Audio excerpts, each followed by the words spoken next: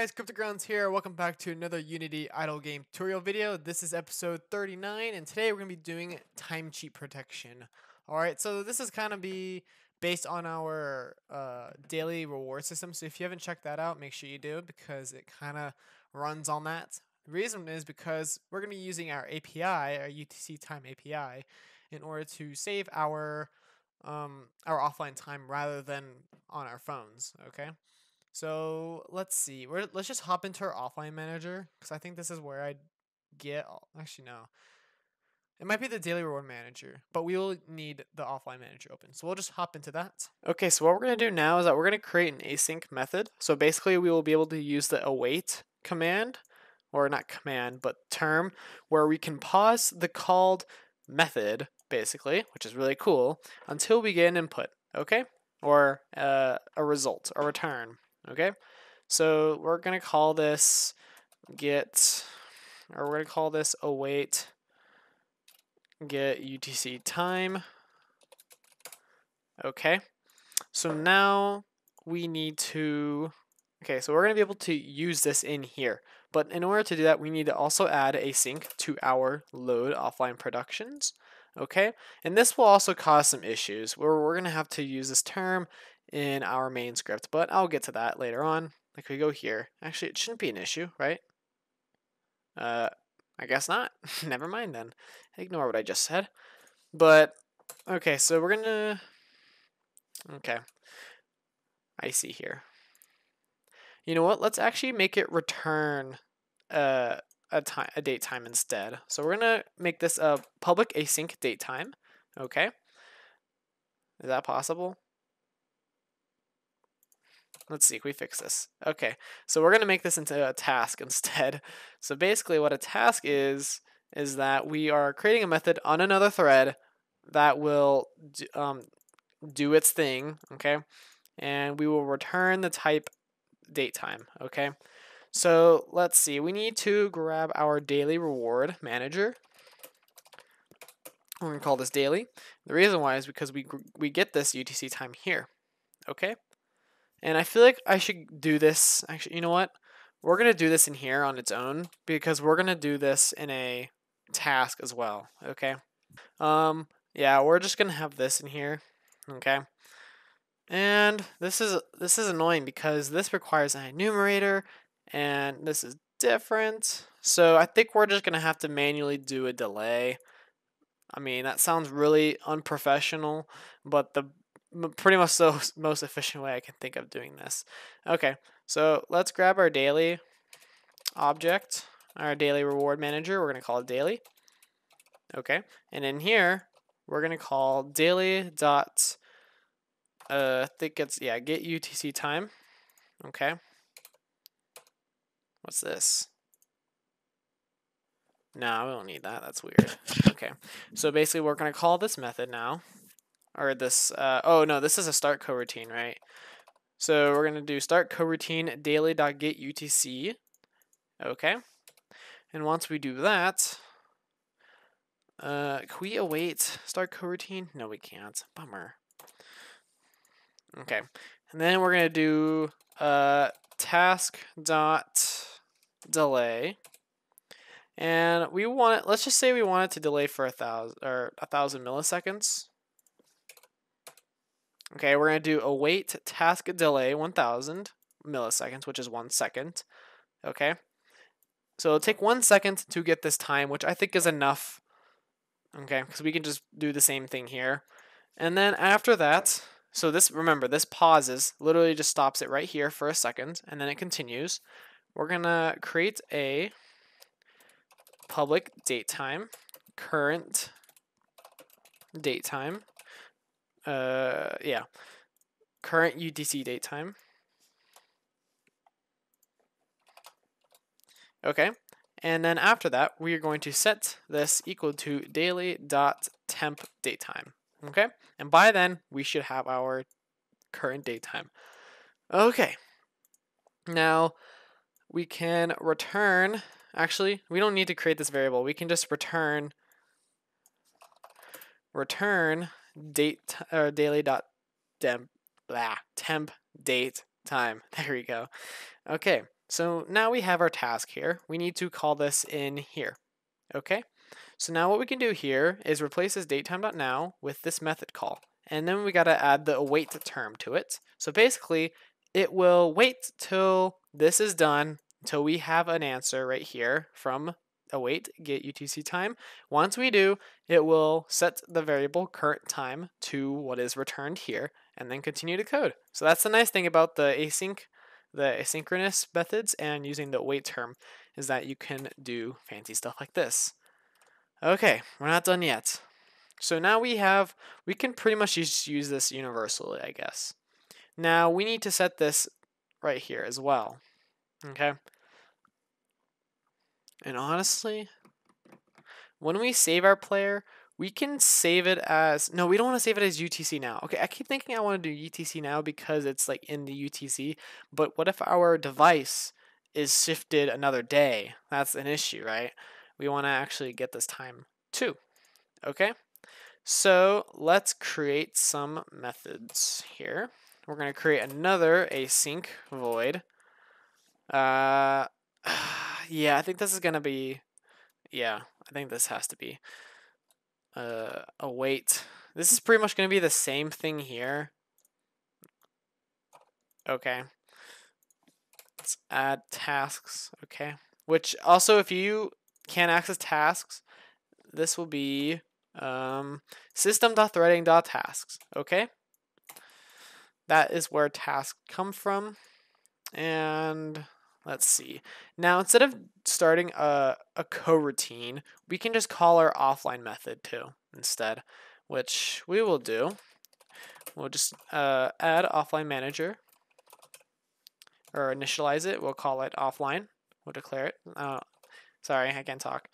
And basically, we are going to do the same thing, except we're going to return offline dot uh, await get UTC time, and we're not done because we have to add the await term to it. So basically, it will, and the reason why we have to do this is because if we add the static term, which is where we would call in here, then we can't use offline, right? Okay? And actually, you know what? Let's make this uh, a void instead. Add a date time in here because we don't want to return it because we won't be able to call this in the save player. Okay, so we're gonna call, we're gonna create a current UTC time. Sorry, this is really confusing. I understand if it is. And we're gonna set current UTC time to await offline dot await get UTC time. Boom. Okay. And then and replace datetime.now in our save player method with current datetime. Oh, what's the what's the problem? Oh, we got to make this static. Okay.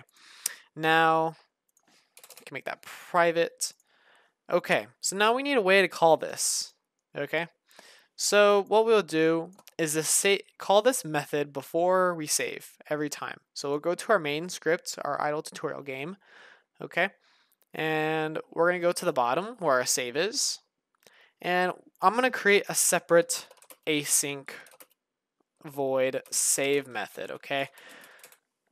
And in here, we want to put this in here, put that in here.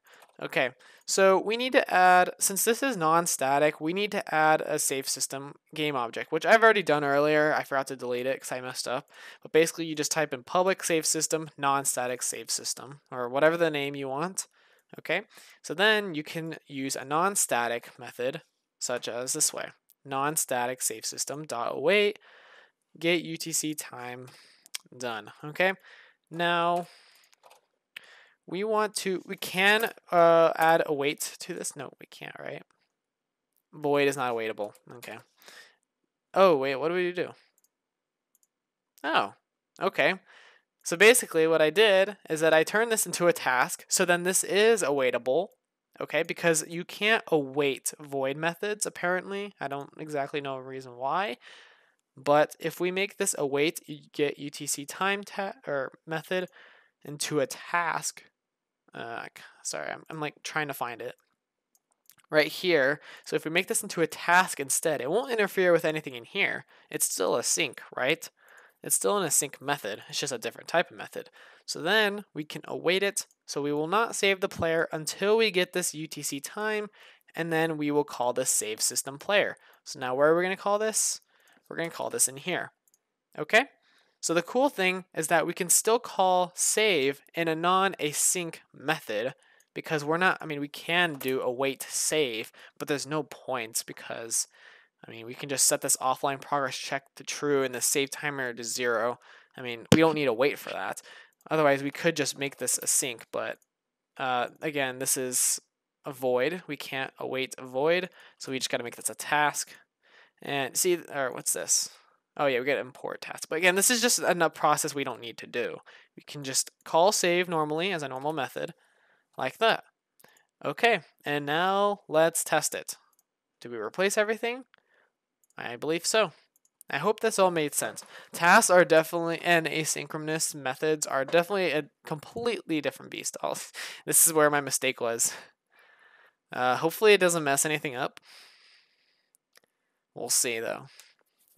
But yeah, they're completely different beasts, and if you get con- confused with them, it's totally okay. I will eventually get to those in my Crash Course series once I get that started.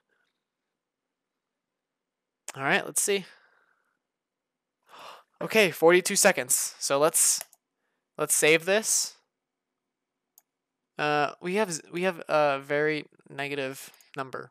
Let's get rid of that. So those negatives aren't fun. There we go. So we're gonna, so we saved, let's see right here, save.